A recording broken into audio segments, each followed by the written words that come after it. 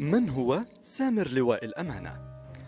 سامر لواء الأمانة شاب من الشباب العرب الطموح جدا في العمل الإعلامي صحفي متمكن الحمد لله من سنوات في المجال التلفزيوني عم نحكي 13 سنة عم نحكي في العمل الصحفي ما بين الدراسة وما بين الموهبة عم نحكي كمان بحدود تقريبا 10 سنوات فالحمد لله عندي رصيد كثير حلو في العمل الصحفي على الأقل وإذا عم نحكي في في الحياة هو شاب من هالشباب العرب اللي طموحين إنه لكل مجتهد نصيب.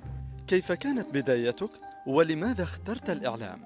البدايات بترجع ل في عندنا شيء بسوريا اسمه تجربة لجان الصحفيين الشباب. أنا طبعا أول ما بديت بديت بالتحاقي بدورات إعلامية بسيطة. على مستوى بنحكي تحصيل الخبر الصحفي والحديث الصحفي وما شابه من هالمعلومات الأولية خلينا نسميها في عالم الصحافة.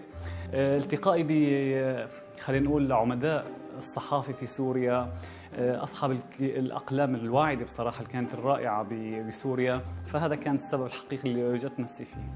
كيف وصلت إلى غرفة أخبار الآن؟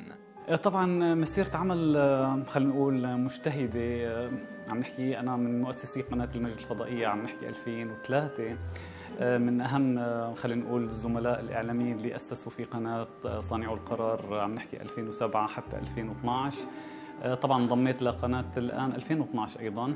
والحمد لله أنه كان عندي برنامج مثل برنامج رسائل صحفية بالبدايات. ثم بعدين انتقلت لغرفة الأخبار مع الحمد لله خلينا نقول الخبرة المتراكمة في العمل الصحفي الإعلامي. هل تفصل حياتك المهنية عن حياتك الشخصية؟ أه على الأقل بالمرحلة هاي لا ما في فصل كثير أنا يعني بحب الإعلام قريب كثير من مهنتي. يعني خلينا نقول إلي جوانب خاصة فيني بشخصيتي ما هي مرتبطة بالإعلام طبعا لكن أنا قريب كثير من الإعلام. قمت بتغطية الأحداث في بلدك. صف لنا هذه التجربة. هلا هي من أصعب التجارب أنه تروح أنت لبلدك وتشوف الصورة اللي أنت مالك متعود تشوفها. يعني أنت ممكن تشوف أحيانا بعين الصحفي الناقد تشوف أشياء سلبية وتنتقدها.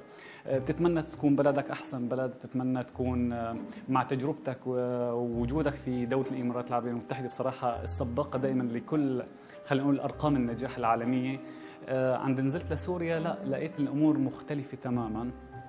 وطبعا أنا تعرضت لمحاولة اغتيال أو عملية يعني خلينا نسميها إصابة مباشرة كان لفريق العمل اللي كنا موجودين نحن في تغطيتنا الميدانية. شخص أنت مدين له على الجانب المهني. الدكتور أديب خضور طبعا هذا دكتور كان مرافقني من خلينا نقول من أيام ما كنا من الشبيبة وصولا للجامعة وحتى يعني لبعد الجامعة. في كلمات ماذا يعني بالنسبة لك؟ سوريا. وجودي. دبي. أجمل ما صنعت وما تصنع دبي أنا شاهد عليه. مكة. قبلتي و... و... وراحتي الشيب. الوقار. الرياضة. الحياة بالنسبة لي حقيقة. هل توجد صداقة في مهنة الإعلام؟ دعنا نفصل بين المهني وبين سامر الإنسان. طالما أنت متمتع بإنسانيتك في كل جوانب حياتك سواء كنت في عملك أو حتى في بيتك أو حتى في خلينا نقول في محيطك الاجتماعي أكيد في صداقة طالما أنت صادق.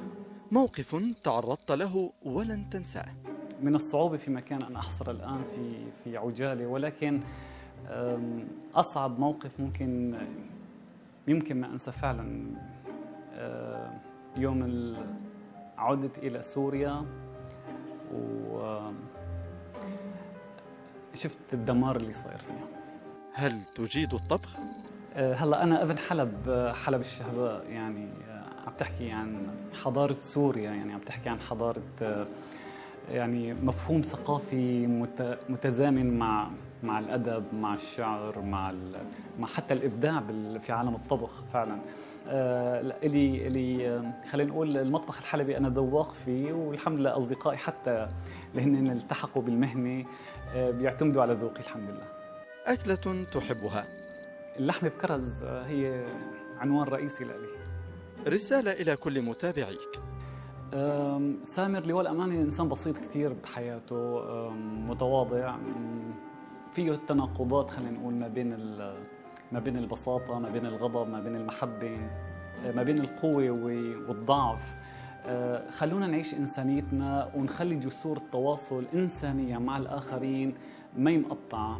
الجميع لا يفتكر أنه هذا شيء من الضعف لا هذا شيء من القوة أن تكون قوي وتمتلك نفسك عند الغضب. العفو حبيبي تسلمي